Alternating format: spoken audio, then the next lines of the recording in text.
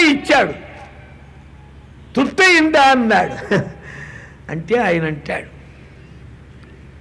నాయన అగ్నిలో కట్టెలు వేశాం అంటుకుంది.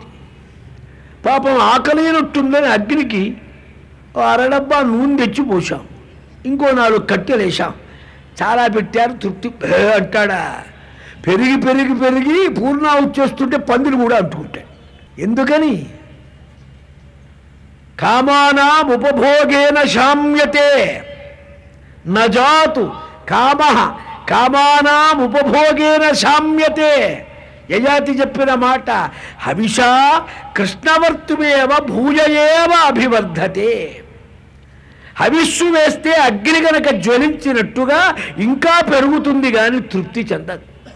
యథా యజమానస్య అదే సంజయ్ ధర్మరాజ్ చెప్పాడు ఇక్కడ.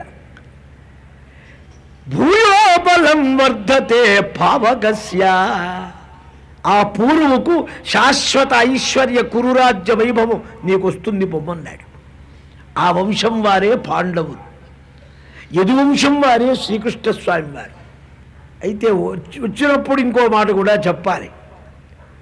భాగవతంలో అంటాడు దశమస్కంధంలో యదోశ్చ ధర్మశీలస్య. ధర్మస్వభావుడైన యదువు యొక్క ఆ వంశంలో స్వామి అవతరించాడే ఆ కథలు చెప్పవయ్యా అన్నాడు. ఇది ఇట్లా ఉంచండి. బ్ర- అన్ని పురాణాలు చూడాలి మనం. బ్రహ్మాండ పురాణంలో ఒకరోజు పిచ్చాపాటి మాట్లాడుకుంటూ ధర్మరాజు గారు స్వామివారిని అడిగారు. ఇన్ని రాజవంశాలుంటే మీరు యదువంశంలో ఎందుకు అవతరించారు? ఊరికే అని అనుకోను నేను అన్నాడు నిజమే. ఎదువంటే చాలా మాకు అనుగ్రహం అన్నారు. ఎందువలన?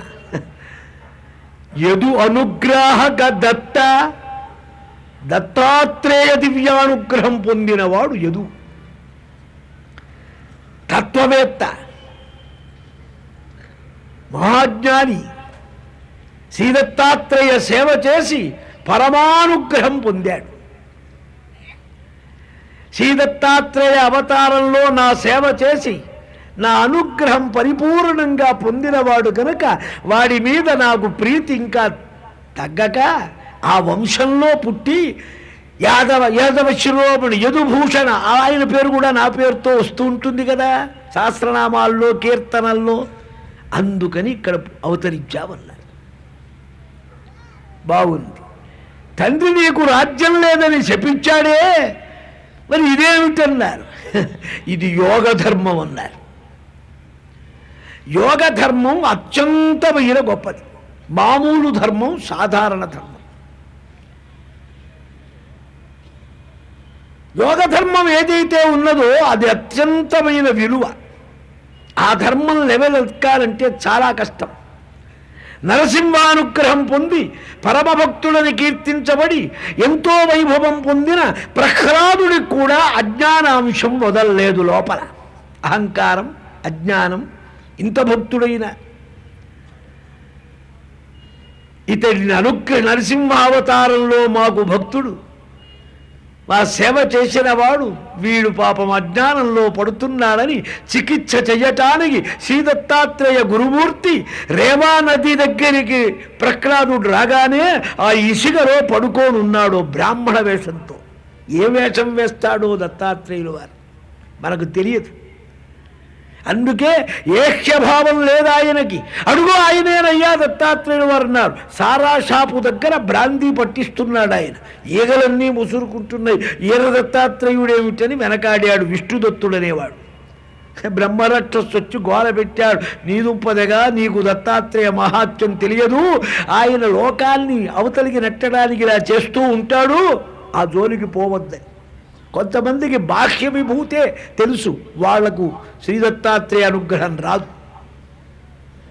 స్వామివారి సేవ తమాషా పడుకున్నాడు. కార్మిక కాలేసుకొని ఆనందంగా ఉన్నాడు. బ్రాహ్మడు. గుడ్డ కూడా లేదు కింద. గోచి పెట్టుకో కూర్చున్నాడు.